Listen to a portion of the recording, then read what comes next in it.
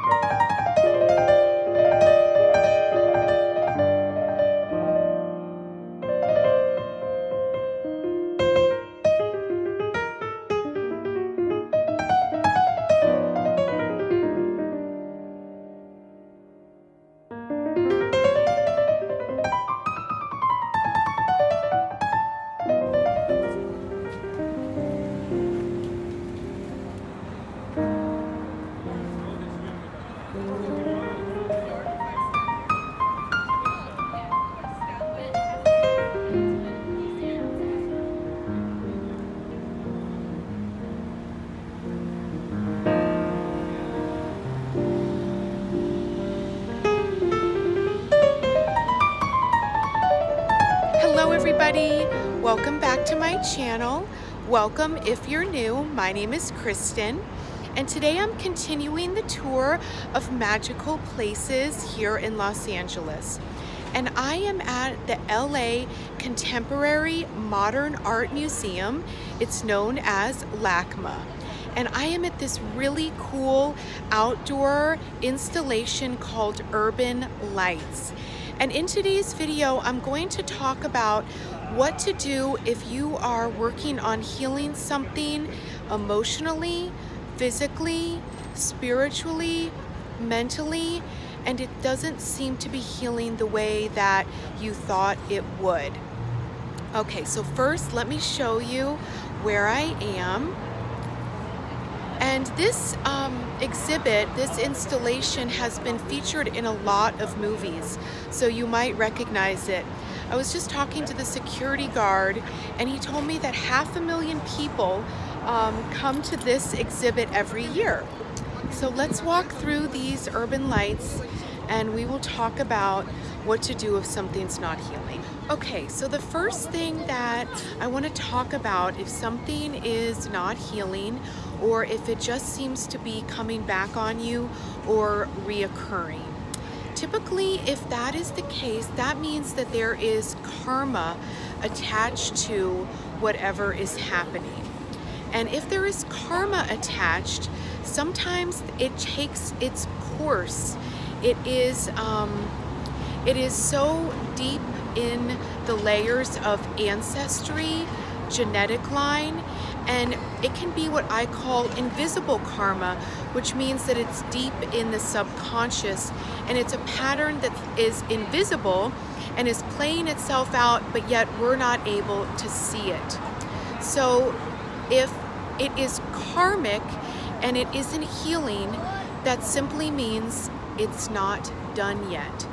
What it doesn't mean is that you've done something wrong or you're being punished.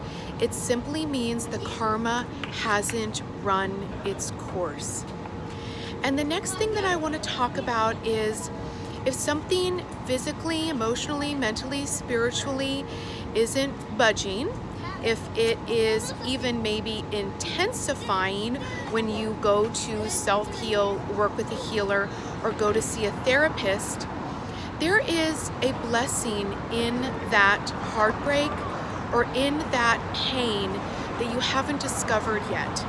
And when you discover the blessing, when you discover the gift, when you can change the perception of what's occurring, then the healing can commence. And the next thing that I want to talk about is taking your attention off of the healing. So sometimes we've got to take our attention off of what we're healing. And I've had to do this in my own life where I was focused so much on the healing that it was actually making the heartbreak or the quote unquote problem bigger.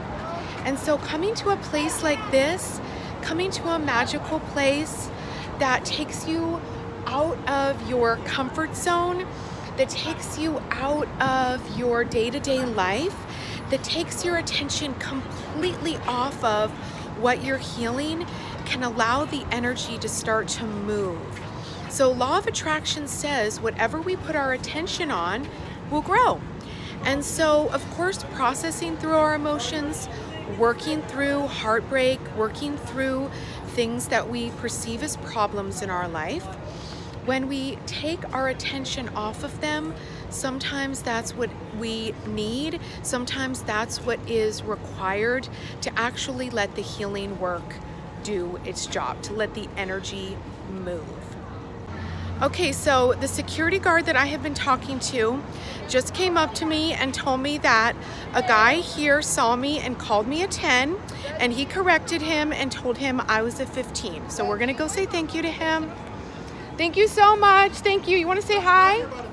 What? With that personality or about a per oh, okay, say that one more time. You're at least a uh, 10, 10, 10 plus. Okay, thank you. The personality counts for a lot more, Oh, right? thank. Okay, thank you. Have a great night. God Bye, guys. And see, when you're being your true authentic self, you attract such magical experiences. Okay, and I feel like my true authentic self right now, even though this under eye is a little weird right now. So ignore the powder under there. Okay, so I want to show you the top of these.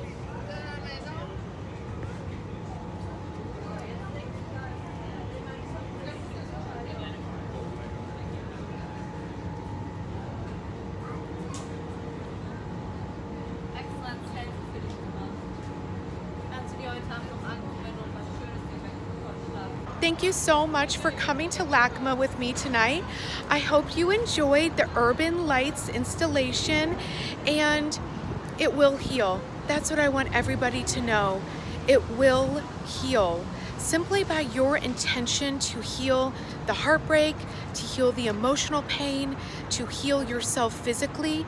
Simply by holding that intention, that grid will fill in. And you don't need to know the next steps.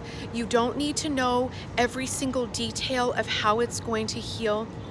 Simply holding the intention, taking your attention off of it sometimes by coming to a magical place, doing something outside your comfort zone can allow the energy to move and allow healing to commence. So true healing is a change, is a shift in perception. And so I just hope um, that you can keep that in mind and allow your perception, allow yourself to change the way you're viewing your healing. Sending you lots of love. Namaste, everybody. Bye bye.